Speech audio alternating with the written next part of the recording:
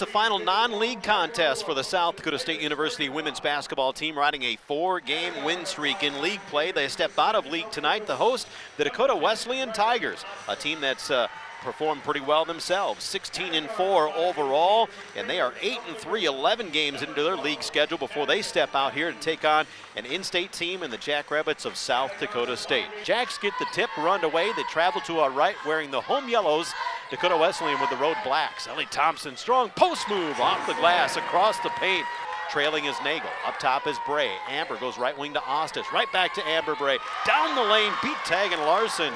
Amber Bray with a bucket. Riley Ostis, Dakota Wesleyan with a lead of 9 to 2 against South Dakota State. Ostis finds Ashley Bray down low, but she finds a way to back her way up the lane. Jackrabbits trailing by four with 4.38 to play in the first quarter. Macy Miller leans in and drives the up and under. Jumper good for two. Macy Miller, a nice soft touch.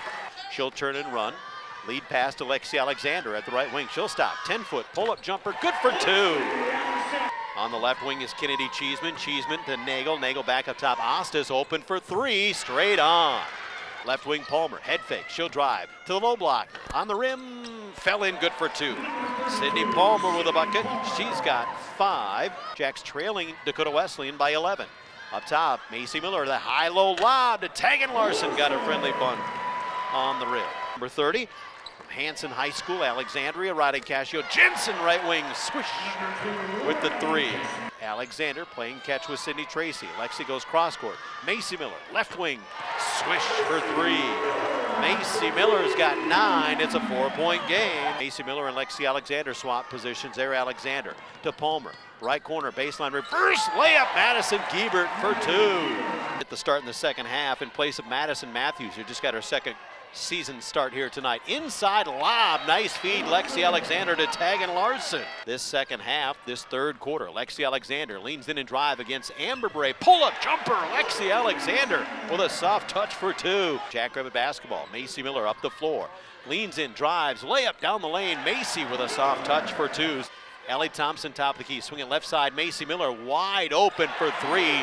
They got it to her on the second call. Tagyn gets it out, led to Macy Miller. Trailing down the floor is Guebert. She'll attack to Larson, to Miller. Top of the key, Macy. Good. Macy Miller.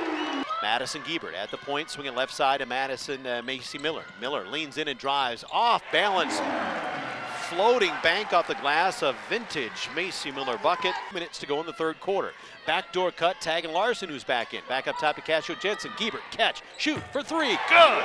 Madison Guebert at the right way. Irwin, back up top. Macy Miller, Casio Jensen, Tagyn Larson, left baseline. Good for two. Tagyn Larson with a bucket. Swing it top to Macy Miller. Dakota Wesleyan right there, step for step with the Jacks. Tylee Irwin, left wing for three. Palmer to Miller. Top of the key for Guebert.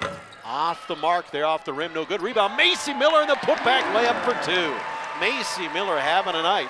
Take a little time off the clock with 2.10 left to play. Ellie Thompson, top of the key. Good for three. Ellie Thompson with a step back. It was a non-conference affair here at Frost Arena and a tough battle in the front half. But the Jackrabbits right the ship and get the win. 76 to 63.